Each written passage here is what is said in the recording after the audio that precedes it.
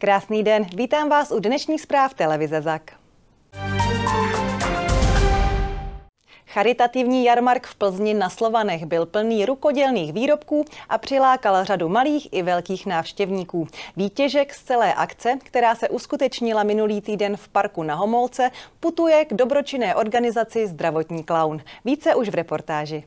Tržiště plné stánku s rukodělnými výrobky z recyklovatelných materiálů, zábavné kvízy nebo zvířátková stezka pro nejmenší. To a mnoho dalšího přinesl charitativní jarmark v parku na Plzeňské Homolce. Akci uspořádala 23. mateřská škola, která se zaměřuje na ochranu životního prostředí a péči o něj ve spolupráci s druhým plzeňským obvodem a plzeňským domovem pro seniory Senekura. My jsme se rozhodli na výrobky, které tady budeme dnes prodávat, využít odpadový a zbytkový materiál. Na sbírce tohoto materiálu se podíleli většinou rodiče našich dětí, kteří měsíc nosili eh, neskutečné množství materiálu a díky tomu jsme se mohli minulý týden pustit do tvoření. Tvoření se zúčastnili děti, rodiče i zaměstnanci celé školky a jsme rádi, že se nám podařilo dát dohromady tolik výrobků. My jsme s dětmi tady vyráběli větvičky, jenom jsme obvázali balonkama. A vznikly z toho takovéhle postavičky, vlastně úplně jednoduchý nápad a děti to moc bavilo. Bylo to strašně super. Se školkou dlouhodobě spolupracujeme, protože na podzim doby adventu udělali taky zde na Homolce odrazkovou cestu a byla krásná. Máme krásné počasí, myslím si, že akce se podaří, je tady spousta dětí, rodičů a přátel školy a myslím si, že i kolem jdoucích, co jdou jenom okolo. Seniori z plzeňského domova Senekura si pro školku přichystali drobné překvapení. Tak tenhle ten obrázek, jehož předlohou byla fotografie 23. mateřské školy, nakreslila naší, naše klientka, paní Hánová, které bude téměř 90 let a ve volných chvílích ráda maluje a krásně maluje a my jsme to chtěli předat jako pozornost a poděkovat za spolupráci 23. mateřské škole. A jsme moc rádi, že tady dneska můžeme být na jarmarku. Malé i velké návštěvníky potěšila nejvíce zvířátková stezka s odměnou pro každého, ale také zábavný kvíz. Procházeli jsme si tady ty stanoviště různá a moc se nám líbilo, jak to tady bylo udělané pro ty malí. Výtěžek z celé akce putoval na dobrou věc.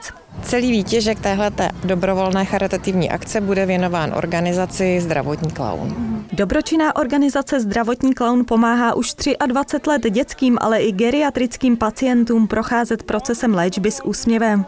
Během charitativního jarmarku se podařilo vybrat bezmála 22 tisíc korun. Z Plzně Lenka Prokšová, televize ZAK. Krajský sněm ANO v Plzni odtajnil v pondělí 29. dubna lídra kandidátky do krajských voleb v Plzeňském kraji. Je jím Kamal Farhan, lékař a poslanec. Současný primátor Plzně Roman Zarzický bude na kandidátce na sedmém místě. Mezi dalšími kandidáty v první dvacítce bude také například starosta městského obvodu Plzeň 3 David Procházka, starostka Lochotína Ivana Bubeníčková nebo doubravecký starosta Tomáš Soukup. Více Informací o kandidátce ANO se dozvíte v novém díle našeho podcastu Co pa se tu děje, ve kterém bude hostem plzeňský primátor Roman Zarzický. Největší plzeňskou křižovatku u Jána v centru města čeká příští rok rekonstrukce. Na opravu, která vyjde na více než 100 milionů korun, chce město Plzeň získat 17 milionů z evropského programu IROP. Cílem rekonstrukce je, aby křižovatka byla bezpečnější nejen pro řidiče, ale také pro chodce. Milovníci koupání v Rokycanském koupališti už se mohou těšit na letošní sezónu. Rokycany začaly v pátek napouštět oblíbené venkovní koupaliště vodou z řeky Klabavy. Letos oslaví druhé největší přírodní koupaliště v České republice 90 let od otevření. Dobrou zprávou pro návštěvníky je, že ani v letošním roce se vstupné navyšovat nebude. Sezóna na koupališti začíná 1. června. Zastupitelé města Mariánské lázně schválili na dubnovém zasedání další investice do rozvoje města. Asi tou největší bude parkoviště u městské nemocnice. Investovat se bude také do škol a hřbitova.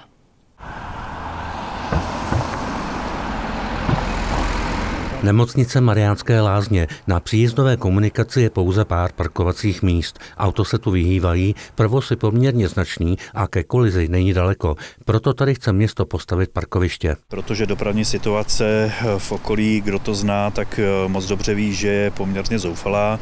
Nemáme zde parkovací stání, my tolerujeme jakési parkování na komunikaci, která tam je, ale tím, že tam je i výjezdová stanice zdravotnické záchranné služby, tak chceme zbezpečnit zejména tento průjezd a aby nedošlo k situaci, že by se třeba sanitka potkala s eh, nějakým vozem a nemohla vyjet. Bude tady asi 50 parkovacích míst s tím, že až bude parkoviště hotové, nemocnice předá pozemky městu. Náklady zatím nebyly spočítané. Další oblastí investování jsou školy, konkrétně přístavba základní školy jich v Mariánských lázních. My si nechali zpracovat jakousi optimalizaci a využití eh, prostor eh, škol základních, jak u jich, tak u Šovice. Zde nám zešlo, že v základní škole jich eh, máme kritický nedostatek míst v družinách a chceme samozřejmě rozšiřovat i ty prostory, protože je velmi vhodné mít co nejvíce míst, ať už je to v mateřských základních školách ohledně toho vzdělávání, takže chceme doplnit ten kampus základní školy jich o další budovu. Zastupitelstvo už schválilo vypracování projektové dokumentace. Přístavba přinese několik družin, učebny, sociální zázemí a kanceláře. Další investicích bude hřbitov města. Na městském hřbitově vznikne unikátní kolumbárium, takzvaný křišťálový strom vzpomínek. Zastupitelé tuto myšlenku podpořili na svém dubnovém zasedání. Kolumbárium bude mít 600 míst míst pro urny, bude tam také prostor pro uh, vsyp popela. Důvodem je, že na hřbitově už je málo místa pro urny. V letošním rozpočtu je na tuto akci vyčleněno 2,5 milionu korun a předpokládá se, že se projekt bude realizovat od letošního roku do příštího roku. Z Mariánských lázní Miroslav Sedláček, televize ZAK. Pro západ Čech platí výstraha před vznikem požáru. Pálení čarodějnic se tak bude muset letos obejít bez rozdělávání ohně. Český hydrometeorologický ústav vydal výstrahu před nebezpečím požáru pro část Plzeňského a Karlovarského kraje. V platnost vstoupila o půlnoci z pondělí na úterý. Skončit by měla v noci ze čtvrtka na pátek. Posledním krokem před zahájením opravy historického památkově chráněného Chebského mostu v Karlových Varech bude, že město požádá o dotaci na projektovou dokumentaci. Ta by podle vyjádření radního Petra Bursíka měla stát zhruba 28 milionů korun. Díky dotaci z Národního plánu obnovy by mohlo být pokryto 100% nákladů. Rekonstrukce mostu bude zahájena v příštím roce. Gymnázium Sokolov má nové podcastové studio s názvem Open Podcast. Vzniklo díky finanční pomoci zřizovatele a to prostřednictvím programu Participativní rozpočet hejtmana Karlovarského kraje. Investice vyšla na 50 tisíc korun. Samotné studio pak stálo 62 tisíc. Na financování se podílela i škola. Všechny pořady, které se ve studiu točí, mohou zájemci sledovat na YouTube Gymnázia Sokolov. Zprávy jsou dnes u konce. Po krátké přestávce se ale ještě vrátím s kulturou a sportem.